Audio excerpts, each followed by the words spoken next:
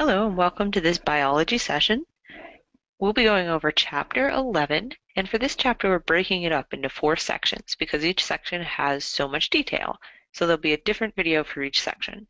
So we'll be starting today with the video on chapter 11 section 1.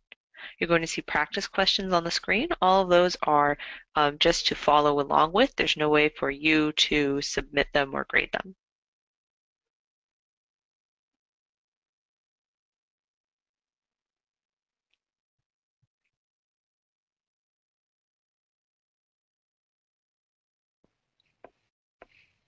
Okay, so chapter 11 again is Introduction to Genetics. So all of an individual organism's DNA came from its parents, but each individual has a different combination of DNA from the two parents, which gives them different traits, such as these different colored kittens that came from the litter.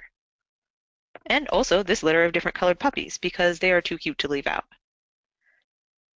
The study of the way that traits are passed down from one generation to the next is called genetics.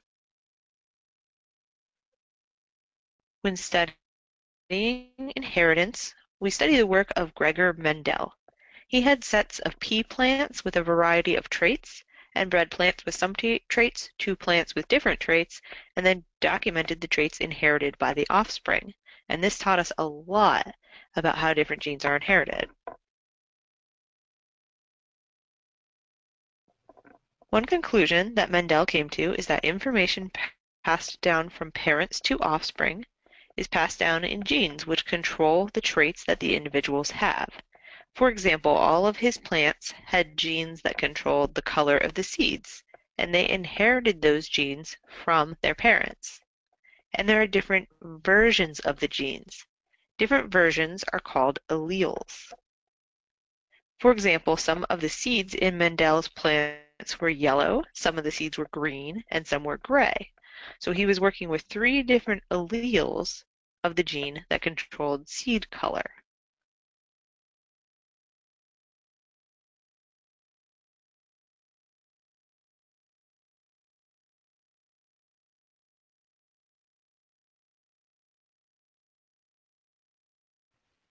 Another important conclusion from Mendel's work is that often when there are two different alleles present in an organism, one of them is expressed as a trait that you can see and the other is hidden.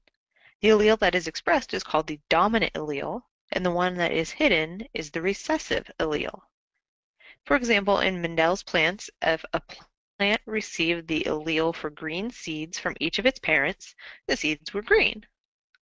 But if the plants received a yellow seed allele from one parent and a green seed allele from the other parent, the seed of the offspring was always yellow, never green. The allele for the yellow is dominant and green is recessive. So if they're in the same plant, you'll always see yellow and you'll never see green.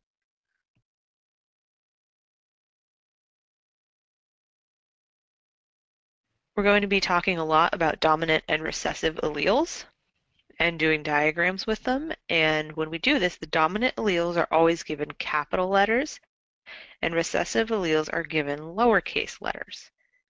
And we will be using the following examples for color. So when we're talking about the color of the seeds, we're going to use a capital A for dominant and a lowercase a for recessive. And with this specific version, the colors, yellow is dominant, so that'll be a capital A, and green is recessive, so green will be a lowercase a. That may seem kind of um, strange, um, like why wouldn't we just put Y and G for yellow and green? But because it's the same gene, we need to use the same letter. So we use the same letter and use a capital for a dominant and lowercase of that letter for recessive. And it doesn't really matter what letter we go with, so I picked A.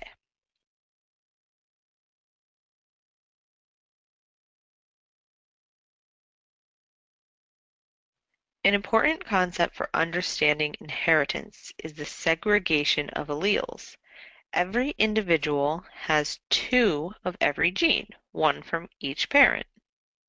But then when that individual reproduces, it goes to make reproductive cells, those two copies of the gene split up so that the egg or sperm only has one copy. So most cells in the body of the plant or the animal or the person have two copies of the genes, but when it makes eggs or sperm, they're split up, so each of those cells only has one copy.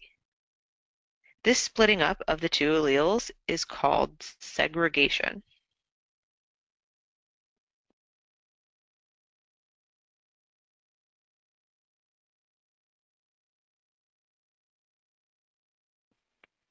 Mendel bred yellow-seeded plants to green-seeded plants, and all of the offspring of the first generation had yellow seeds. None of them had green seeds. And he wanted to know if that genetic information for green seeds was still there in the plant somewhere or if it had disappeared. So to find out, he crossed the offspring of that generation and he looked at the second generation of offspring and saw that some of them did have green seeds. So this means that that genetic information of the recessive trait, it was still there and still being passed on. It was just hidden when that dominant yellow allele was present. So how did this happen? How did the recessive trait for green seeds disappear for an entire generation and then reappear in the next generation? Well, remember that each individual receives two copies of the gene, one from each parent. He took parents that only had green alleles and crossed them with parents that only had yellow alleles. And that way he knew exactly what the offspring would have. Every offspring from that cross got a green allele from one parent and a yellow allele from the other parent. So each one had both alleles, had one yellow and one green. And because yellow is dominant over green, every single one of those individuals expressed the yellow seed trait, not the green. But they still had that green allele in them. In the next step, he took individual plants that had both a yellow allele and a green allele. So he took plants from this generation that's outlined in red and he bred them to each other, to other plants that had the exact same genetic makeup of a yellow allele and a green allele. And remember that segregation means that those alleles get split up when the plant reproduces.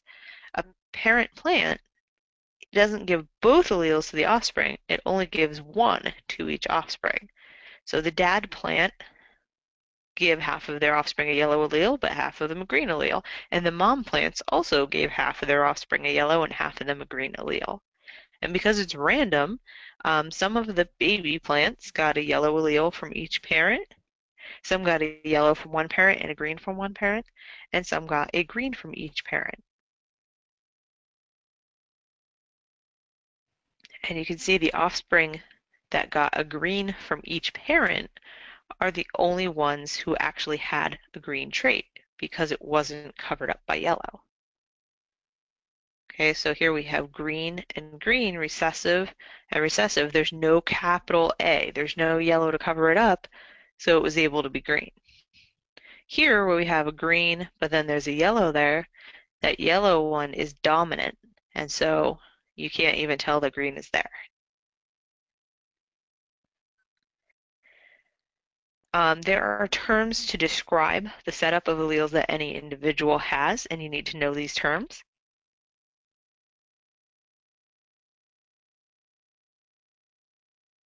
If they have two copies of a dominant allele, in this example, two alleles for yellow seeds, they are called homozygous dominant. If they have two copies of the recessive version of the allele, so for example, two alleles for green seeds, then they are homozygous recessive. And if they have two different alleles, in this example, one yellow and one green, they are heterozygous. Remember uh, the prefixes homo means the same and hetero means different. These terms describe the genotype of the individual. A genotype is the genetic makeup of the alleles. It doesn't describe what the individual looks like, it describes the alleles that it has. But we could use the genotype to figure out the phenotype. That's the trait that is expressed, okay, such as color. So you should notice that um, the heterozygous and homozygous dominant individuals have different genotypes, but the same phenotypes. Okay, so for our examples up here, um, our heterozygous dominant has two yellow alleles, and our, our heterozygous has one yellow and one green. But they have the same phenotype. They're both yellow, and it's because they both have that dominant yellow one in there. So this one has no choice but to be yellow as two yellow alleles, but this one, the heterozygous, has one yellow, which is dominant over the green. So all you see is yellow. And then homozygous recessive has a different phenotype. It has the phenotype that's green because it it only has green alleles. It has nothing else.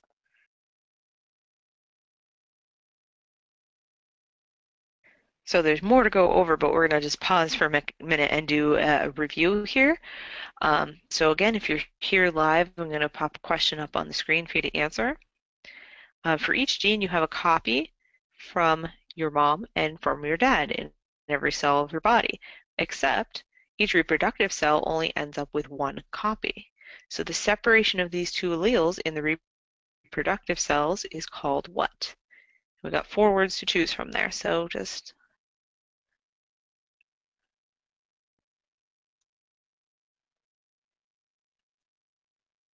There we go. So you should now see the poll on the screen. So if you're here live, you should answer it. Um, I'd like to see all of our attendees answer the question before I move on, so I'll give you a few seconds to think about it.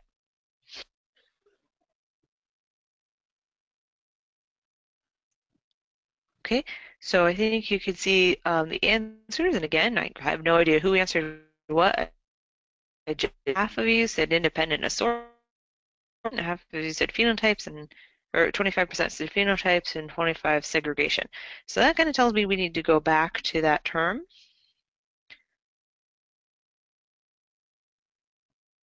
Make sure we're sharing the screen still. Okay, so the term for that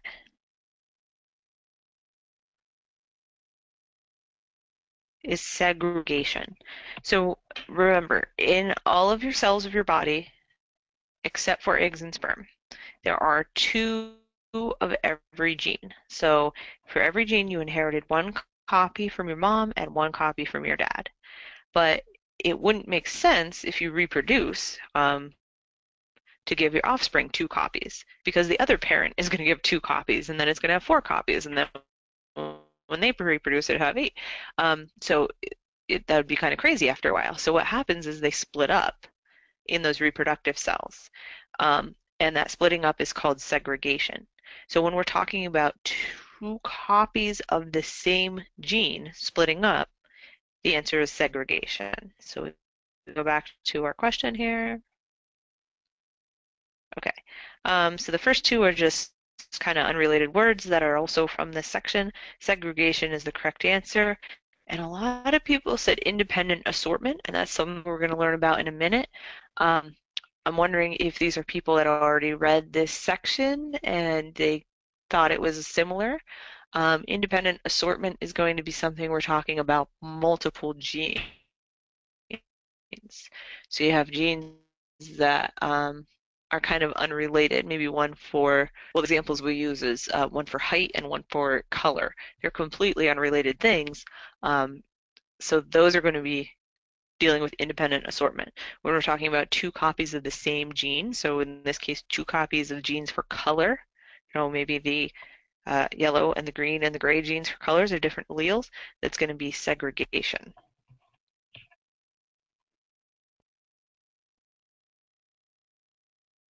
Um, this is another review question, but I can't put it up as a poll because of the type of question it is. So just think about your answer.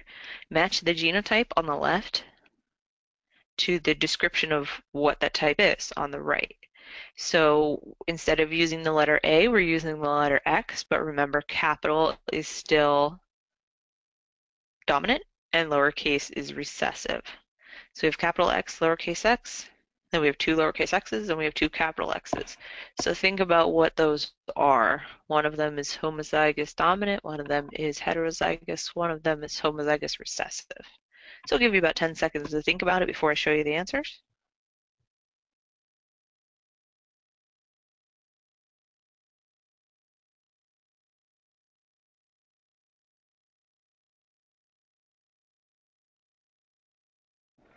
So a capital X and a lowercase x. So we have a capital and a lowercase, one of each. That's going to be heterozygous. Remember, hetero means different.